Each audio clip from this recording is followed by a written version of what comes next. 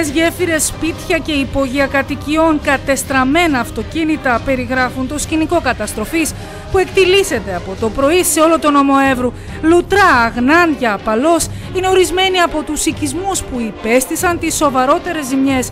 Αυτά μόνο στο Δήμο Αλεξανδρούπολης.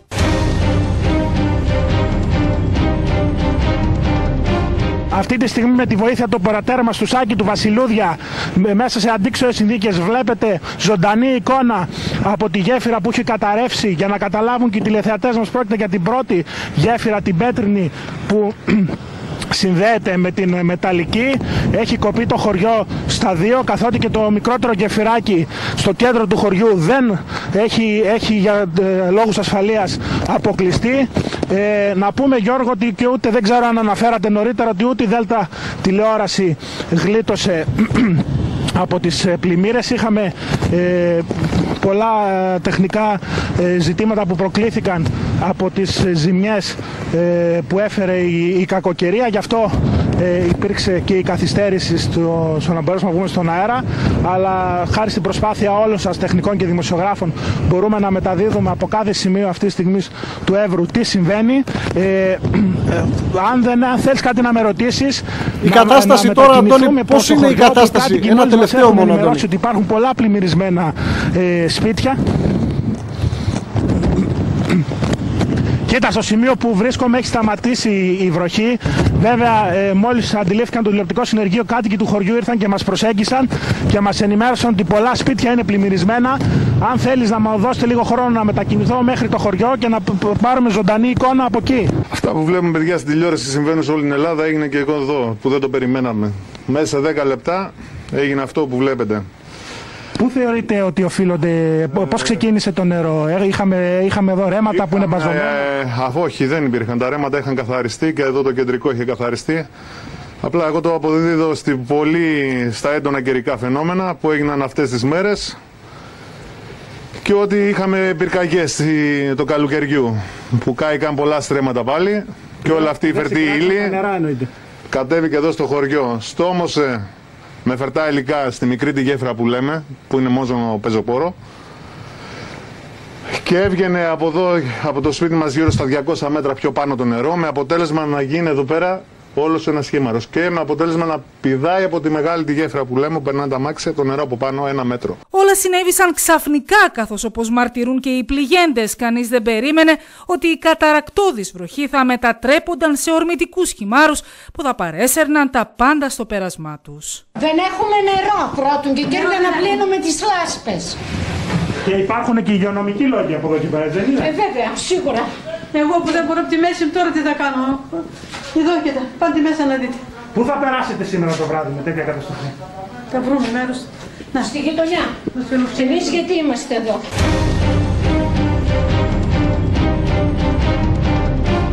Το ρέμα έχει να καθαριστεί τουλάχιστον τέσσερα χρόνια. Τέσσερα χρόνια κατεβάζει, μαζεύει, πετούσαν σκουπίδια, κοιτάζαμε να τα μαζέψουμε τα σκουπίδια να τα πετάμε. Δηλαδή καταντήσαμε να είμαστε οι καθαριστές εδώ πέρα της, ε, του δρόμου.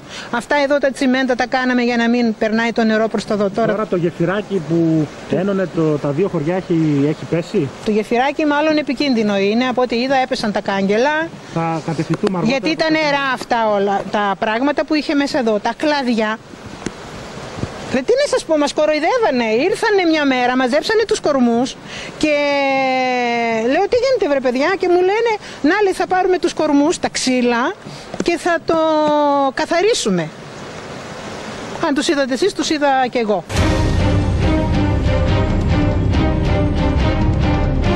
Είναι η δεύτερη φορά αυτό που το παθαίνουμε, το ίδιο και το ίδιο. Όσες φορές και διαμαρτυρηθήκαμε, πάλι τα ίδια. Δεν γίνεται τίποτα. Δεν ξέρω, κάτι πρέπει να γίνει. Κάθε φορά με αυτό το φόβο ξυπνάμε, με αυτό το φόβο κοιμάμαστε. Μόλις θα πιάσει βροχή, όλο είμαστε στο ρέμα να δούμε άμα φουσκώσει, αν έρθουν τα νερά. Πείτε μου λίγο από το μεσημέρι και μετά που σημειώθηκε και το περισσότερο πρόβλημα, πώς εξελίχθηκε η κατάσταση; Ήρθε πολύ απότομα το νερό. Σε ένα 20 λεπτό είχε εδώ μπροστά σε μένα 80 πόντους νερό. Στο βόρειο και κεντρικό τμήμα του νομού εκενώθηκαν ακόμα και οικισμοί, όπως μετέφερε μιλώντας στο έκτακτο δελτίο ειδήσεων της Δέλτα τηλεόρασης ο Δήμαρχος Διδημοτήχου Ρωμήλος Χατζηγιάνογλου. Ο ερυθροπόταμο, η στάθμη του αρχίζει ανεβαίνει και υπάρχουν τεράστιες ποσότητες ε, νερού και ύδατος που έρχονται από τα ελληνοβουλγαρικά σύνορα στον ερυθροπόταμο. Αυτή τη στιγμή βρίσκομαι στην Αβδέλα, στο χωριό δίπλα στους μεταξαδες όπου από ό,τι έχει διακοπεί η κυκλοφορία στο δρόμο, το νερό περνάει πάνω από τη γέφυρα της Αβδέλας και η ποσότητα είναι τόσο μεγάλη που έχει απλωθεί και δεξιά-αριστερά από τη γέφυρα σε 200-300 μέτρα οδόστρωμα. Περνάει πάνω από το οδόστρωμα το νερό.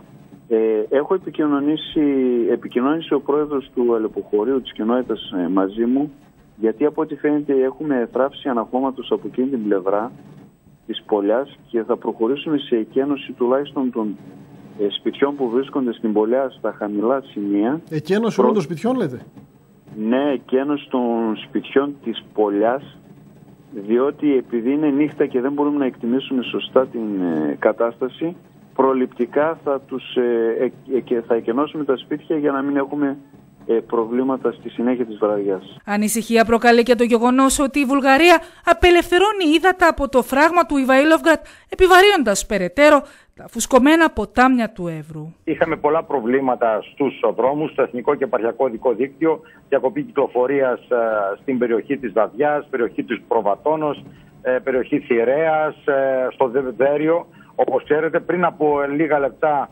ολοκληρώθηκε και επιχείρηση διάσωσης ε, μεταφοράς ε, δύο νεφροπαθών από το Δέριο ε, στην, στο νοσοκομείο της Αλεξανδρούπολης γιατί υπήρχε όπως γνωρίζετε διακοπή κυκλοφορίας και αναγκαστήκαμε και χρησιμοποίησαμε ένα άλλο δρομολόγιο. Ε, πρέπει να σας αναφέρω επίσης ότι θα γίνει τώρα μια δεύτερη επιχείρηση από το ΕΚΑΒ από άλλο δρομολόγιο πάλι για τη μεταφορά τριών μεταναστών οι οποίοι είχαν εγκλωβιστεί ε, μεταξύ ορμητικών νερών και θα μεταφερθούν και αυτοί στο νοσοκομείο ε, της Αλεξανδρούπολης. Ε, συγχρόνως ε, ένα άλλο γεγονός είναι ότι είχαμε πάρα ε, πολλές πλήσεις στην πυροσβεστική υπηρεσία για άντληση υδάτων από σπίτια και υπόγεια σπιτιών. Είχαμε διακοπές ρεύματος. Το φαινόμενο ήταν πάρα πολύ έντονο. Λάβαμε και μια ρηματική ε, διακίνηση από, την, Βουλγαρία. η οποία μας ενημερώνει ότι λόγω των έντονων φαινομένων που υπήρχαν τις τελευταίες τρεις μέρες στην περιοχή θα αρχίσει από σήμερα σταδιακά η αποδέσμευση υδάτων από το φράγμα του Ιβαήλογκρατ. Επικοινώνησε, όπως είπατε και εσείς, με τον Υφυπουργό Προστασίας του Πολίτη, τον κύριο Χαρδαλιά, ο οποίος είναι στο κέντρο επιχειρήσεων και παρακολουθεί εδώ και πολλή ώρα το τι συμβαίνει στον Εύρο ε, να, να ξέρει όλος ο κόσμος ότι αυτή τη στιγμή πρέπει να είμαστε όλοι πολύ προσεκτικοί.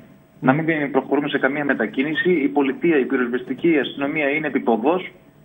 Ε, να ξέρουν ότι η πολιτεία θα είναι δίπλα τους. Ξέρω ότι υπάρχουν εκτεταμένες ζημιές και στις περιουσίες και στα χωράφια και στα σπίτια. Ακριβώς. Με το που ηρεμήσει η κατάσταση υπάρχει καταγραφή, αλλά αυτό το οποίο προέχει αυτή τη στιγμή είναι η ασφάλεια. Αυτό συζητάμε με τον κύριο Χαρταλιά, αυτό συζητάμε, το παρακολουθεί η πολιτεία και θα κάνουμε τα δύνατα δυνατά έτσι όλες αυτές τις ζημιές. Αυτή τη στιγμή το μόνο που προέχει είναι η ασφάλεια των πολιτών.